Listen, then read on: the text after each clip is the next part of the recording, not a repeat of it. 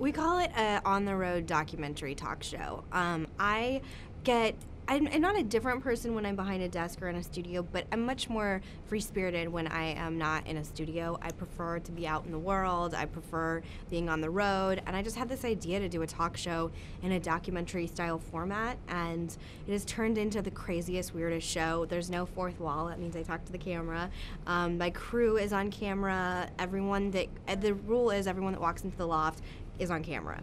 That is Barbara. She works till the very last minute. She she loves being at work. She loves it more than I think being at home. But you know, and I don't ex- uh, uh, uh, expect her to be home now.